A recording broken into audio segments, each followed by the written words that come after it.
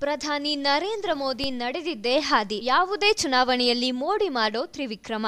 ಈ ಸೋಲಿಲ್ಲದ ಸರದಾರ ಈ ಬಾರಿಯೂ ವಾರಣಾಸಿ ಲೋಕಸಭಾ ಕ್ಷೇತ್ರದಿಂದ ಸ್ಪರ್ಧಿಸಿದ್ದಾರೆ. ವಿಶ್ವ ನಾಯಕನಿಗೆ ಎದುರಾಳಿಯೇ ಇಲ್ಲ ಅನ್ಕೋಬೇಡಿ. ಮೋದಿಗೂ ಪ್ರಬಲ ಪ್ರತಿಸ್ಪರ್ಧಿಗಳಿದ್ದಾರೆ. ಅವರು ಒಬ್ಬರಲ್ಲ, ಇಬ್ಬರಲ್ಲ ಬರೋಬ್ಬರಿ ಐವತ್ತು ಜನ. ಅವರ್ಯಾರು ಅನ್ನೋದನ್ನ ನಾವ್ ನಿಮ್ಗೆ ತೋರಿಸ್ತೀವಿ ನೋಡಿ. ಆಶ್ಚರ್ಯವಾದ್ರೂ ಇದು ಸತ್ಯ. ಪ್ರಧಾನಿ ಮೋದಿ ವಿರುದ್ಧ ಐವತ್ತು ಮಂದಿ ದಕ್ಷಿಣ ಭಾರತದ ಅನ್ನದಾತರು ಅಖಾಡಕ್ಕೆ ಇಳಿಯುತ್ತಿದ್ದಾರೆ ಆ ರೈತರು ಯಾರು ಗೊತ್ತಾ? ಅವರು ಬೇರೆ ಯಾರು ಅಲ್ಲ. ತೆಲಂಗಾಣದ ನಿಜಾಮಾಬಾದ್ ಜಿಲ್ಲೆಯಲ್ಲಿ ಅರಿಶಿನ ಬೆಳೆ ಬೆಳೆಯುವ ಅನ್ನದಾತರು. ಈ ರೈತರ ಒಕ್ಕೂಟ ನಿಜಾಮಾಬಾದ್ ಎಲೆಕ್ಷನ್ ನಲ್ಲೂ ಸ್ಪರ್ಧಿಸಿದೆ. ಇದೀಗ ವಾರಣಾಸಿಯಲ್ಲಿ ಪ್ರಧಾನಿ ನರೇಂದ್ರ ಮೋದಿ ವಿರುದ್ಧವೇ ಸ್ಪರ್ಧಿಸೋ ಸವಾಲು ಹಾಕಿದ್ದಾರೆ. ಹಿಂದುಳಿದ ವರ್ಗಗಳ ರೈತರು, ಮಹಿಳೆಯರು ಚಲೋ ವಾರಣಾಸಿ ಅನ್ನೋ ಹೋರಾಟಕ್ಕೆ ಕರೆ ಕೊಟ್ಟಿದ್ದಾರೆ. ಈ ರೈತರು ಮೋದಿ ನಾಮಪತ್ರ ಸಲ್ಲಿಸಿದ ಎರಡು ದಿನಗಳ ಬಳಿಕ ಅಂದ್ರೆ ಏಪ್ರಿಲ್ ಇಪ್ಪತ್ತೆಂಟಕ್ಕೆ ವಾರಣಾಸಿಯಲ್ಲಿ ಮೋದಿ ವಿರುದ್ಧ ಸ್ವತಂತ್ರ ಅಭ್ಯರ್ಥಿಗಳಾಗಿ ನಾಮಿನೇಷನ್ ಸಲ್ಲಿಸುತ್ತಿದ್ದಾರೆ. ಮೇ ಹತ್ತೊಂಬತ್ತಕ್ಕೆ ವಾರಣಾಸಿಯಲ್ಲಿ ಮಹಾ ಮತದಾನ ನಡೆಯುತ್ತಿದೆ. ಅಂದು ಮೋದಿ ಮತ್ತೊಮ್ಮೆ ಪ್ರಧಾನಿ ಆಗ್ತಾರೋ ಇಲ್ವೋ ಅನ್ನೋದು ಡಿಸೈಡ್ ಆಗುತ್ತಿದೆ. ಮೋದಿ ಅಗ್ನಿ ಪರೀಕ್ಷೆ ವಿರುದ್ಧ